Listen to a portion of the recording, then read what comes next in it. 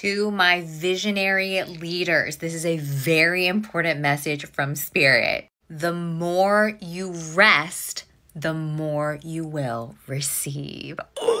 Spirit is saying this is a bit of a timeless channeled message. So, whenever you see this, is whenever you're supposed to see this. Take what resonates and leave the rest for someone else in order for you to build this global impact empire, you're going to need to figure out a better way of leveraging your time and energy because you cannot continue to burn yourself out and work from day in to day out um, in order to make this happen. It's just not sustainable. Yes, you're still gonna have to work. And yes, it's gonna be so much fun, but not to the point of detrimenting your own health you're not meant to do the grunt work. You're meant to like get to a place where you can actually receive the visions of what needs to happen and then you then are supposed to get the vision and then hold the vision and then be able to learn how to delegate and attract the people to come in to help you build it out and do the grunt work that you just aren't meant to be doing. Now that doesn't mean that you're not going to be in the trenches with them doing the work or doing other kinds of work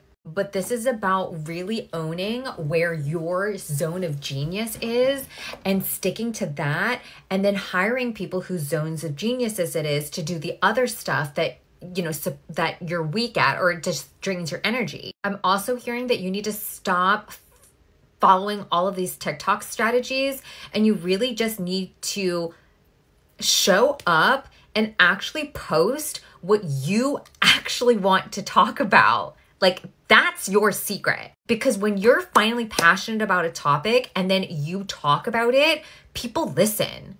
You don't even need to have an affirmation of, oh, people love to listen to me or they always have to listen to what I have to say. People listen to what you have to say when you're excited about it, when you're really pissed off about like a company that like effed you over. People listen. You know what I'm saying? Like that's how magnetic you are. But when you're trying to conform it or phrase it or articulate it or craft it in a specific way, that's when you're losing the magic. And that's where you're losing the traction. And that's why you're so frustrated. August is going to be a very pivotal month for you. But again, if you're seeing this like and it's after August, like whatever month you're in is going to be very, very game changing for you. And I'm hearing for some of you that this is the tipping point, as in you have the chance to back out right now if you want to. If this is too much and this emotional upheaval and having to do the shadow work so that all areas of you can be healed, so you can accept yourself as whole, so that you can show the fuck up as this incredible visionary leader that you were meant to be, you can say no. Universe will find someone else. But if you want to claim it, change is necessary. Go to part two.